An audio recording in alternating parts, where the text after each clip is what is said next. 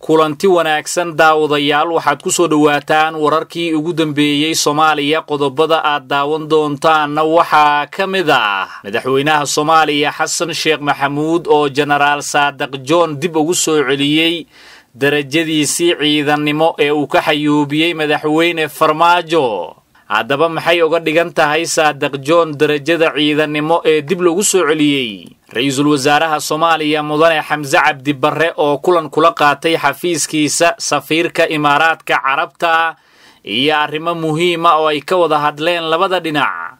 Madaxda dowladda federaalk soomaaliya oo siyaabo kala duwan uga hadlay doorashadii kenya iyo guusha uu gaaray madaxweyne ku-xigeenka dalkaasi oo loo doortay madaxweynaha kenya hogaamin doono shanta sano ee soo socoto. Iyo sidoo kale daawadayaal waxaannu idiin soo gudbin doonaa rabshado ka dhacay qaybo ka mid ah waddanka kenya oo ah goobaha ay ku xoogan yihiin axsaabta mucaaradka. Qodobadaas iyo qaar kale oo faahfaahsanaya daawadayaal muuqaalkan ku daawan doontaan. Haddii aad nagu cusub tahay nagu soo biir oo janalkan sabskribe saar si aad uga mid noqoto saaxiibada helo wararka aanu halkan soo gelinno. Aynu ku bilownee daawadayaal madaxweynaha jamhuuriyadda federaalk soomaaliya mudane xasan sheekh maxamuud. Ayaa tallaabo kale oo degdega qaaday kadib markii uu xeer madaxweyne dib ugu soo celiyey sarreeyo guuto saadiq cumar maxamed.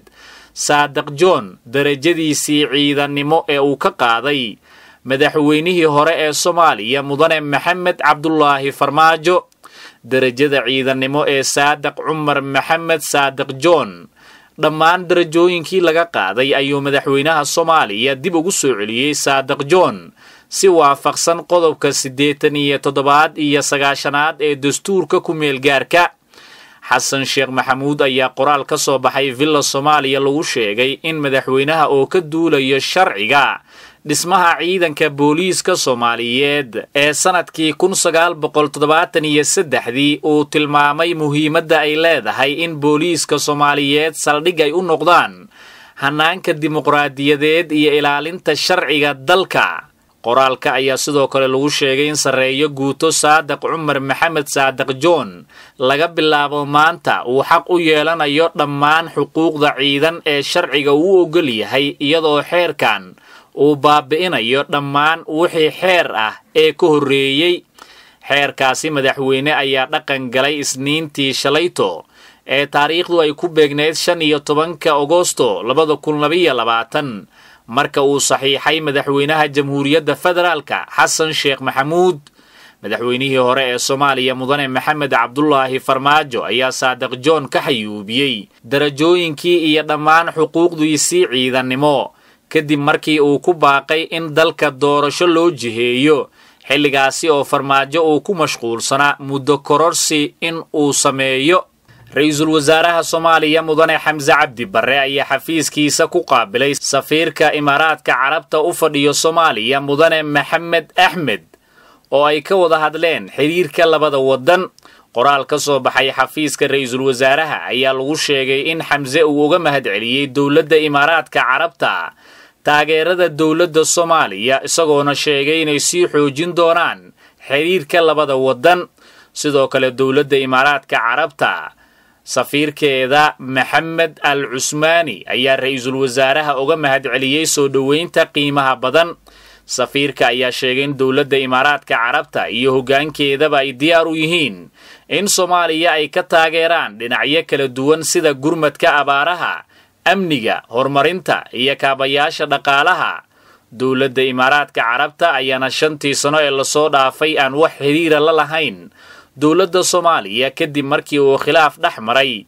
Dowladdii hore ee madaxweyne farmaajo balse xidhiirkaasi xumaaday ayaa waxa uu dib u soo noqday. Kadib markii talada dalka uu la wareegay madaxweyne xasan sheekh maxamuud qaybihii dambe ee warkeenna ayaanu ku sii dhowaanaynaa daawadayaal iminkana guddoomiyaha gobolka hiiraan cali jeyto cusmaan ayaa ku biiray xubno ka tirsan wasiirada dowlad goboleedka hirshabeelle iyo xildhibaanada baarlamanka federaalka ee ku sugan jiidda hore ee dagaalka.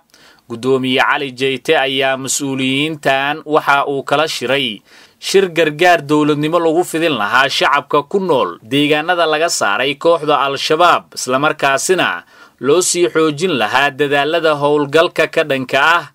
Jeyte waxa uu mas'uuliyiinta la wadaagay howl maalmeedka shaqo ee joogtada ah iyaga oo laga arrinsaday sidii loo wajihi lahaa in shacabka loo fidiyo gargaarka bini'aadantinimo maadaama al-shabaab ay burburiyeen dhammaan adeegyadii muhiimka u ahaa noloshii shacabka sida ceelashii iyo guryihii ay degganaayeen sidoo kale guddoomiyaha ayaa warbixin ku aadan xaaladda guud. Waxa uu ka siiyey guddiga madaxweynaha dowlad goboleedka hirshabeelle cali guudlaawe uu u xilsaaray gurmadka deegaanada laga saaray al-shabaab waxaana uu mar kale ugu celiyey in la gaarsiiyo gargaar dowladnimo oo buuxo.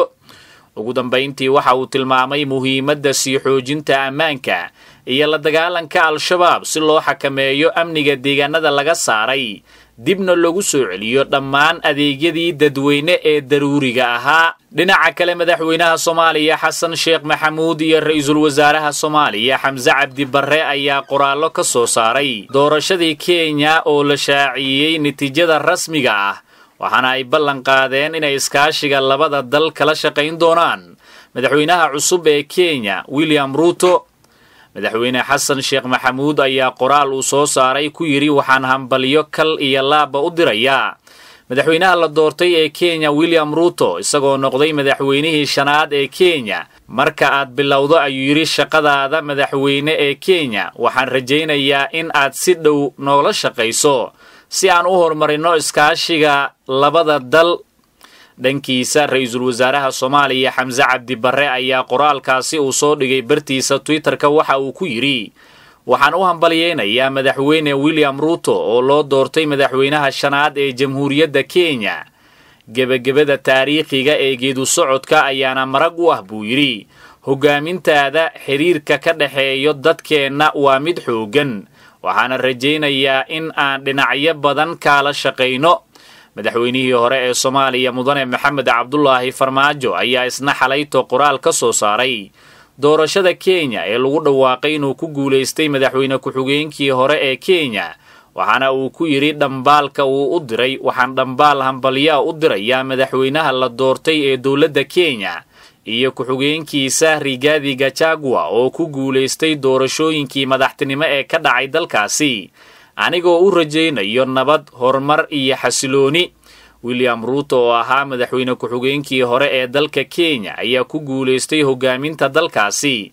Muddada shanta sano ee soo socoto sida uu ku dhawaaqay guddoomiyaha guddiga doorashada dalkaasi oo ku sugnaa shalayto galab xarunta boomas la yidhaahdo ee ku taalo caasimadda nairobi waxaana uu ku dhawaaqay in ruuto uu yahay madaxweynaha la doortay ee shanta sano ee soo socoto dalkaasi hoggaamin doono. Waxaa xusid mudan in dhowr xubnood oo ka tirsan guddiga doorashada dalka kenya ay diideen natiijada la shaaciyey islamar ahaantaasina ay ku kala qaybsameen. Natiijada uu ku dhawaaqay guddoomiyaha guddigaasi doorashada ee kenya. William ruuto ayaa waxa uu sheegay guddoomiyaha guddiga doorashada inuu helay codod dhan toddoba milyan taasi oo u dhiganto konton dhibic afartan iyo sagaal halka musharaxii kale ee raila odinga uu helay lix dhibic sagaashan iyo afar milyan oo cod ah una dhiganto afartan iyo siddeed dhibic siddeetan iyo shan. Sida uu ku dhawaaqay guddoomiyaha guddiga doorashooyinka kenya wafula chebukati raila odinga oo hore u ahaa hogaamiyaha mucaaradka dalkaasi kenya ayaa markiisii shanaad shalayto ku guuldaraystay loolankii xilka madaxtinimada. Guud ahaan daawadayaal intaas ayaannu ku soo gebagabaynaynaa muuqaalkan aad ku daawanayseen wararkii ugu dambeeyey soomaaliya iyo caalamka. Tan iyo intaannu daawadayaal dib ugu kulmi doonna muuqaalo kale waxaannu iminka idinkaga tegaynaa sidaas iyo nabadgelyo